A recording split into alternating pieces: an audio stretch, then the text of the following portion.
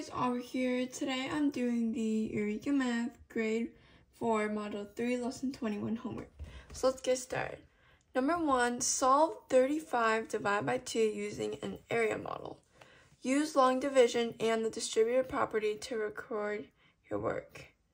Alright, so 35 divided by 2. Let's do our area model. Our area model would look We first start off with a rectangle.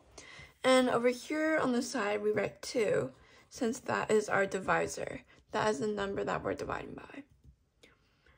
The number we're dividing is 35. So first, we break it apart. And we look at the tens. So we want to do is we want to think how many tens of 2 can go into 35. So 10 of 2, that's 20. We had to skip count by 20 until we can't go anymore.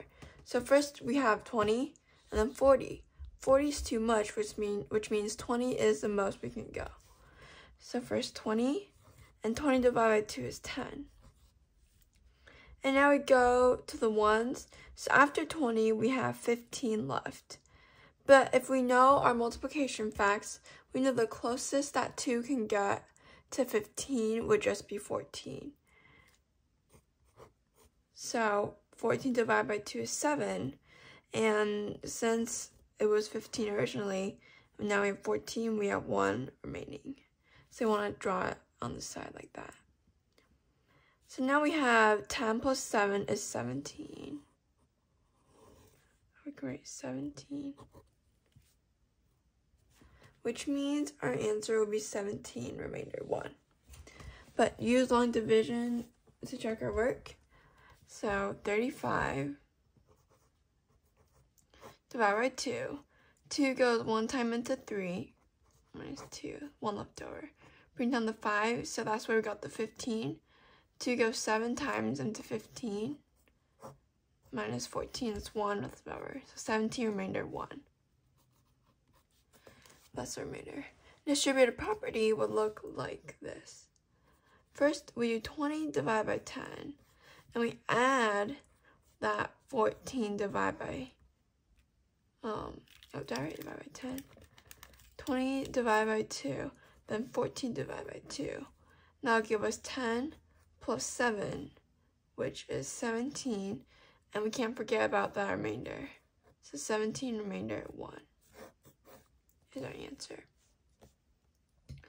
Alright, now let's look at number 2. Solve 79 divided by 3 using an area model. Use long division and the distributed property to record your work.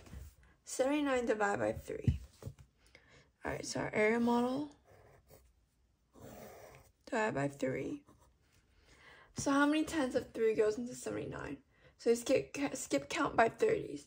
First we have 30, and after 30 we have 60, and then 90.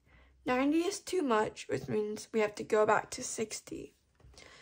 So break it apart, we have 60, and 60 divided by 3 is 20.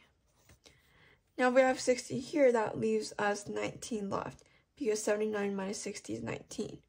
So we know that 3 times 6 is 18, which is pretty close to 19.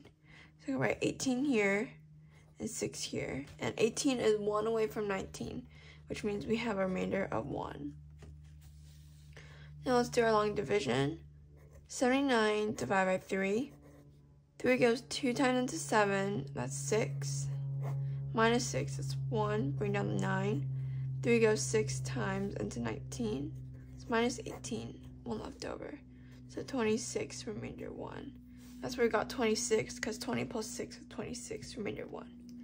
A distributed property would look like 60 divided by 3 plus 18 divided by 3 which will give us 20 plus 6, which is 26, remainder 1.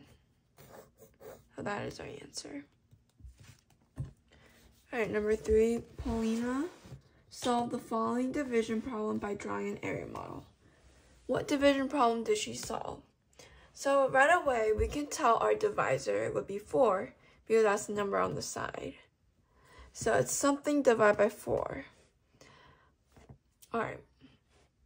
So to find our dividend first, what we have to do is add up the numbers and the little sections thing because like we did in the previous problems, our dividend, we would break it apart in our area model.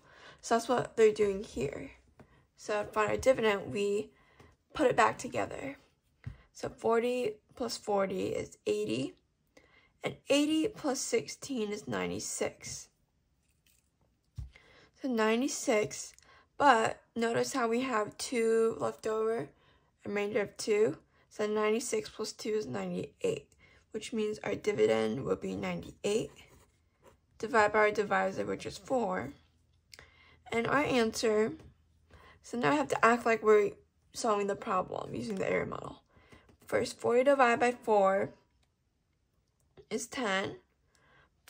I'm going to write that up here, 10. And 4 divided by 4 again, that's 10. 16 divided by 4 is 4.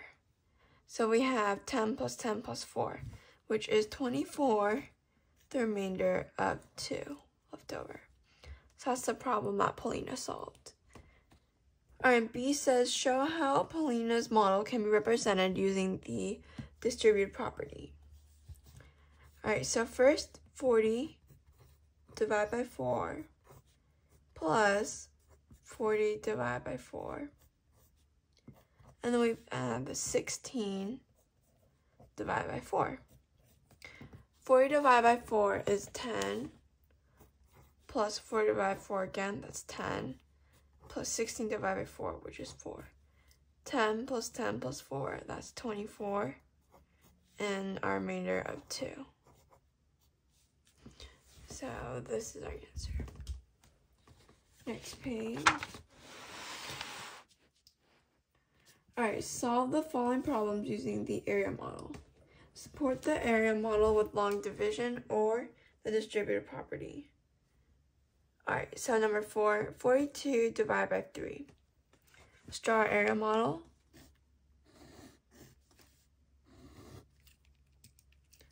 Divide by 3, so we put 3 on the side.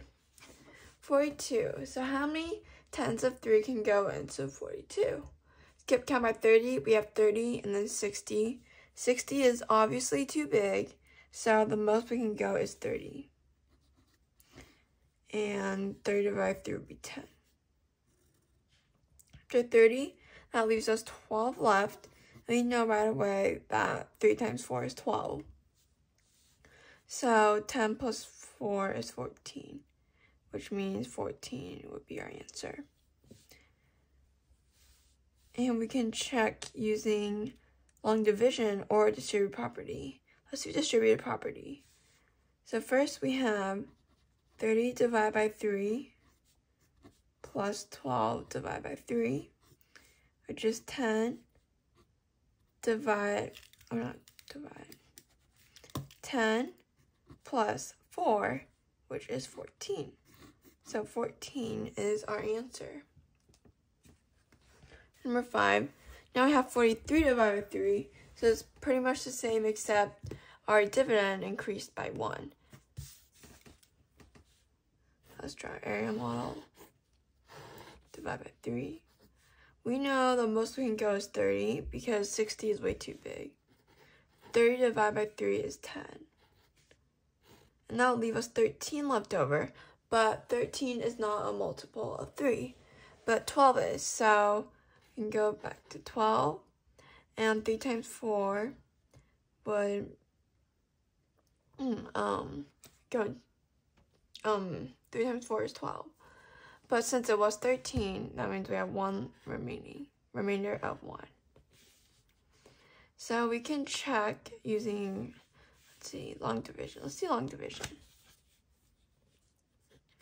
43 divided by 3. 3 goes one time into 4.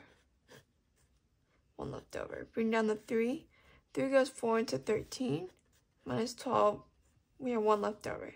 So 14 remainder of 1 is our answer. Alright, number 6, 52 divided by 4. 52 divided by 4 is our area model. Put 4 on the side. So how many tens of 4 can go into 52? 40, so we have to skip count by 40. we have 40 and next would be 80, but 80 is way too big. So 40 is the most we can go. And 40 divided by 4 is 10. That will leave us 12 left over, and we know 4 times 3 is 12. So 10 plus 3 is 13. Our answer is 13, but let's check with distributive property. 40 divided by 4 plus 12 divided by 4. 40 divided by 4 is 10, plus 12 divided by 4 is 3. So our answer would be 13. Alright, number 7, 54 divided by 4. Alright, so 54, let's draw our area model. Put 4 on the side. We know the most we can go is 40, because 80 is too big. 40 divided by 4 is 10. And now we have 14. So the most 4 can go into 14 is 3 times, which is 12. And 14 minus 12 is 2, which means we know our remainder will be 2. But 12 divided by 4 is 3. So let's check with long division. 54 divided by 4. 4 goes 1 time into 5 minus 4 left over. Bring down the 4. 4 goes 3 times into 14, minus 12, 2 left over. So answer is 13, remainder 2. Alright, number 8, 61 divided by 5.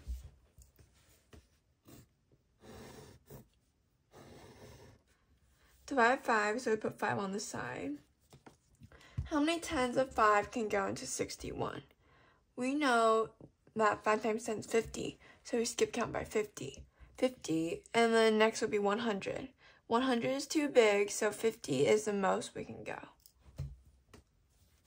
Okay, 50 divided by 5 is 10. After 50, we have 11 left over. But 5 can't go into 11, but it can go into 10. And that will give us 2. 10 divided by 5 is 2. So then that will give us a remainder of 1 since 10 is 1 away from 11. Our answer should be 10 plus 2, which is 12, remainder 1, but let's check with distributive property. 50 divided by 5 plus 10 divided by 5, which is 10 plus 2, that's 12, with our remainder of 1. So that is our answer. Alright, and number 9, 73 divided by 3 73 divided by 3. Let's do our area model. Divided by 3. So how many tens of 3 can go into 73? So first we have 30, and then 60, and then after 60 is 90. So 90 is too big, so let's go back to 60. 60 divided by 3 is 20. So after 60, we have 13 left over until we reach 73. And 3 can't go into 13, but it can go into 12. So we'll have a remainder of 1, since 12 is 1 away from 13. And 12 divided by 3 is 4. So our answer should be 24 with a remainder of 1.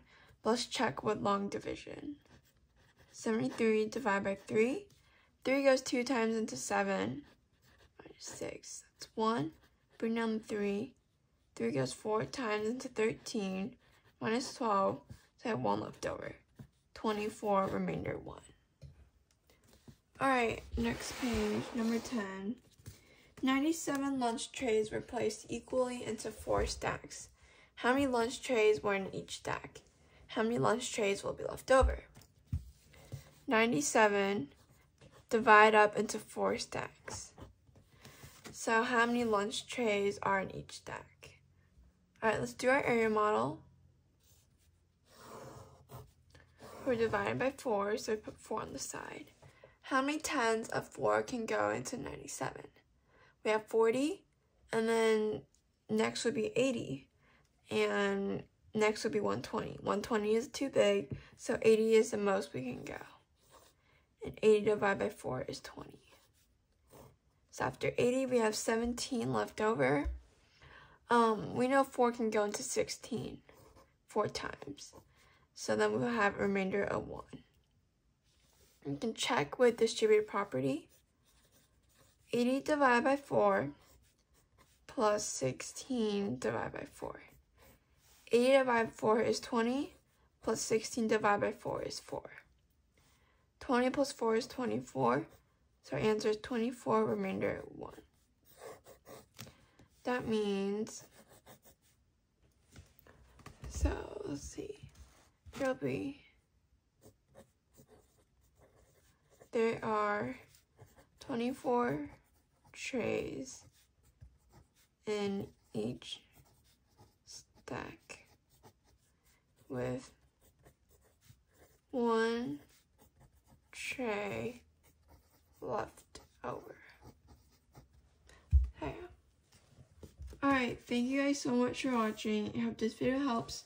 And please don't forget to like and subscribe because it really helps on my channel. See you guys next time. Bye!